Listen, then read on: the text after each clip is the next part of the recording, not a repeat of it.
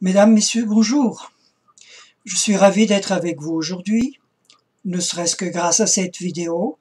Elle me permettra de participer modestement au lancement de ma traduction de Phèdre de Marina Tsvetaeva, que cette année Vibration Édition vous propose en bilingue dans sa collection théâtre.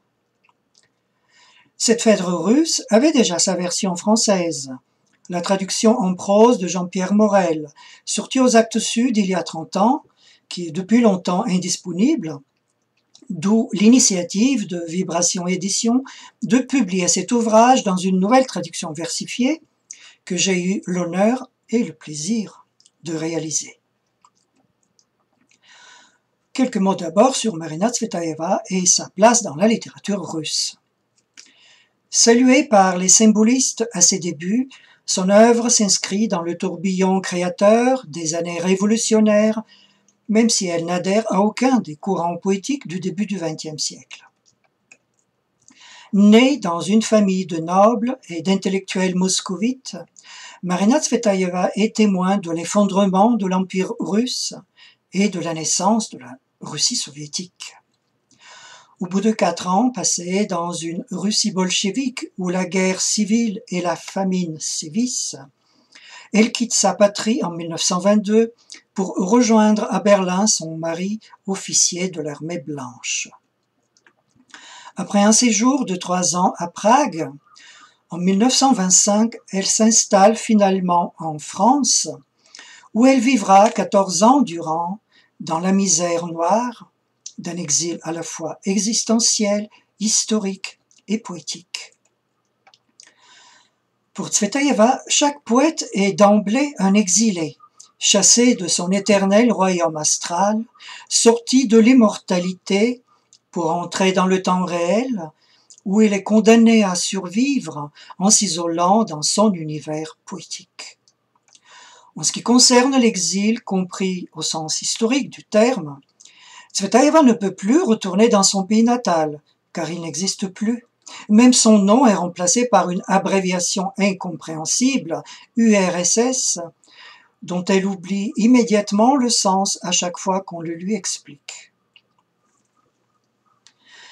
Étrangère déracinée et solitaire, elle continue de vivre dans sa Russie à elle, imaginaire, illusoire, un paradis perdu dont il ne reste que des souvenirs.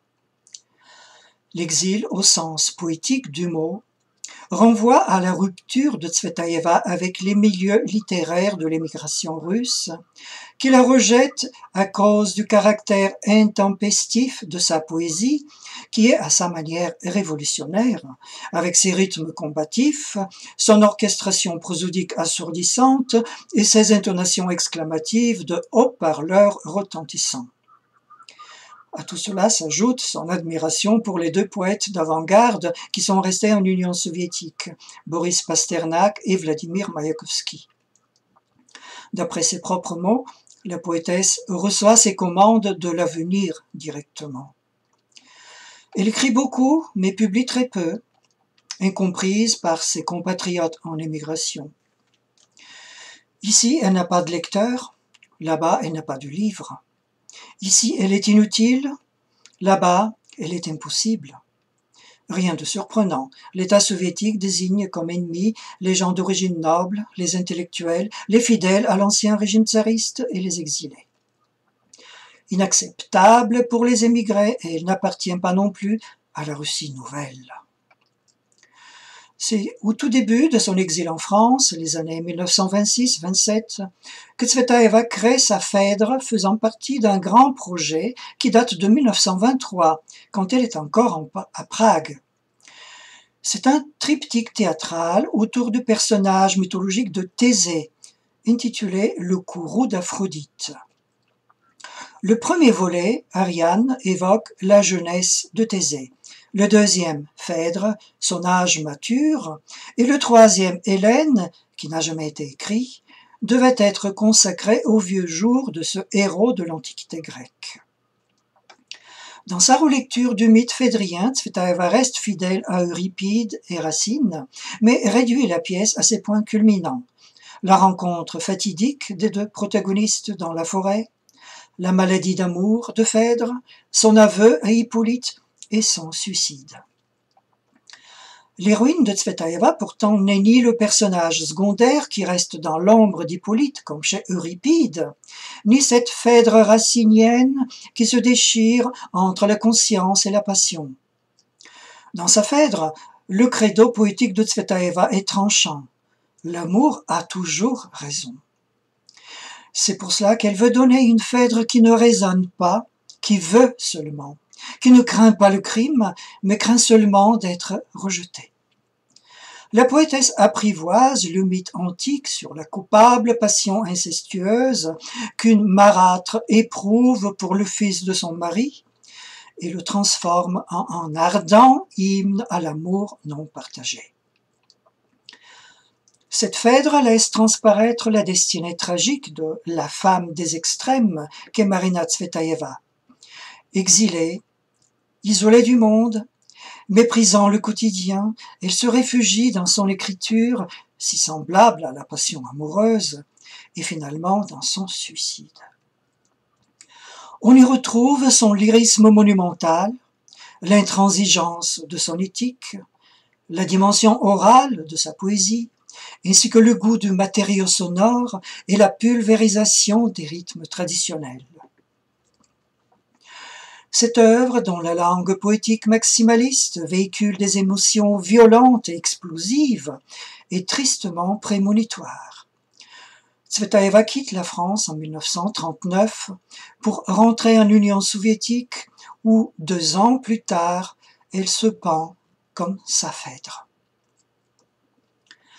Par son tempérament romantique, par l'originalité de son expression et l'intensité émotionnelle de son verbe poétique, Tsvetaeva touche profondément le lecteur moderne. Son premier recueil ne paraît à Moscou qu'en 1965. Et ce n'est que dans les années 80 que sa notoriété s'affirme en France, aux côtés de Pasternak, Mayakovsky, Mandelstam, Akhmatova, ses contemporains. Cette longue méconnaissance résulte de l'isolement tragique qui a marqué d'un bout à l'autre son itinéraire et de l'affrontement cruel entre sa personnalité lyrique passionnée et l'époque révolutionnaire avec ses exigences d'engagement idéologique. Il faut encore souligner qu'en France, on découvre la prose de Tsvetaeva bien plus tôt que sa poésie et ses textes versifiés les traducteurs cherchent toujours à rendre la virtuosité de ses rimes et l'impétuosité de ses rythmes métriques. Bien souvent, cela leur paraît impossible et découragés, ils se contentent d'une traduction en prose. Le texte de Phèdre ressemble à une partition musicale. Pour rendre la beauté de ses caractéristiques sonores, j'ai opté sans hésiter pour une traduction versifiée qui, certes, exige beaucoup plus d'efforts, qui met beaucoup plus de temps et risque surtout de devenir une belle infidèle de l'original. Dans ma démarche risquée, la direction de Vibration Édition m'a fait confiance et nous avons ensemble relevé le défi de rendre possible ce qui souvent paraît impossible, dans l'espoir de faire rayonner la magie de l'art poétique tsvetaevien. Y sommes-nous arrivés Ce sera à vous, nos futurs lecteurs, d'en juger. Je vous souhaite une bonne lecture, au plaisir de vous revoir et de vous entendre.